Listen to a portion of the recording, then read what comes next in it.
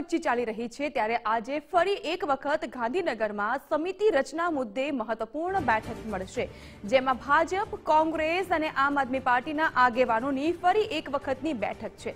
જાહેર હિસાબ સમિતિ સહિતની ચાર સમિતિ માટે માથાપચ્ચી ચાલી રહી છે. નિમણૂક પ્રક્રિયાને લઈને આ બેઠકમાં એક ફોર્મ્યુલા નક્કી કરવામાં આવે તેવી પણ ચર્ચાએ જોર પકડ્યું છે. વધુ વિગતો મેળવીશું. સંવાદદાતા નિકુંજ જાની પાસેથી. નિકુંજ, વધુ એક વખત ભાજપ કોંગ્રેસ અને આપની આજે મહત્વપૂર્ણ બેઠક મળવા જઈ રહી છે. જે નિમણૂક કરવાની હોય છે તેને લઈને એક ફોર્મ્યુલા પણ નક્કી કરવામાં આવનાર છે. જાગૃતિ અલગ અલગ નાણાકીય સમિતિ વિધાનસભાની અંદર જે હોય છે તેની અંદર વર્ષોથી એ પ્રકારની પરંપરા રહી છે કે નિયુક્તિ દ્વારા આ સમિતિની અંદર ધારાસભ્યોની નિમણૂક કરવામાં આવતી હોય છે, પરંતુ પહેલી વખત એ પ્રકારની સ્થિતિ બની છે કે હજી સુધી આ સમિતિની નિયુક્તિ અટવાયેલી છે, કારણ કે વચ્ચે એક પ્રકારની એ શક્યતા જોવાઈ રહી હતી કે સંભવિત રીતે ઇલેક્શન કરવામાં આવે સમિતિની રચના માટે તેની અંદર નિયુક્તિને લઈને, પરંતુ ઇલેક્શન કરવું તો કઈ રીતે કરવું? કારણ કે ગુજરાતના ઇતિહાસમાં સમિતિ માટેનું અત્યાર સુધીમાં કોઈ ઇલેક્શન થયું નથી અને તેના બાદ હવે એ દિશાની અંદર ફરી વિચારણા કરવામાં આવી છે કે સર્વસંમતિના આધારે જે વિવિધ સમિતિઓ છે તેની અંદર ધારાસભ્યોની નિયુક્તિ કરવામાં આવે.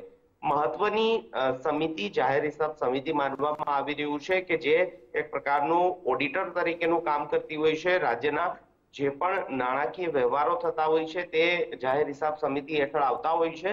તો તેની અંદર નિયુક્તિને લઈને પેચ અટવાયેલો છે.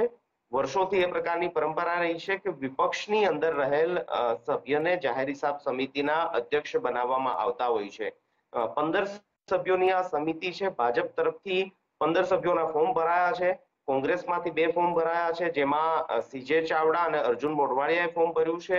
આમ આદમી પાર્ટીના હેમંત ખેવા જે ધારાસભ્યો છે તેને ફોર્મ ભર્યું છે તો આપના એક કોંગ્રેસના બે અને પંદર સભ્યોની સમિતિમાં ભાજપ પક્ષના પંદર સભ્યોએ ફોર્મ ભર્યું છે.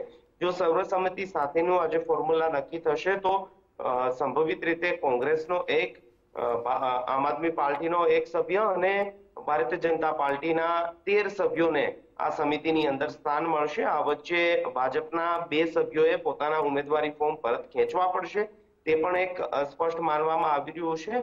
પરંતુ આખરી ફોર્મ્યુલા કયા પ્રકારનો નક્કી થાય છે. શું આમ આદમી પાર્ટીનો એક સભ્ય જે છે તે ફોર્મ પરત ખેંચીને બે સભ્ય કોંગ્રેસને મળે તે પ્રકારની ફોર્મ્યુલા નક્કી થાય છે. તે તમામ પર સસ્પેન્ડ છે. જે આજે બેઠક બાદ તમામ ફોર્મ્યુલા નક્કી થશે અને સમિતિની આખરે રચના કયા પ્રકારની હશે તે આજની અંતિમ બેઠક પર નિર્ભર છે. જે નિકુંજ તમામ વિગતો જણાવવા બદલ આપનો આભાર.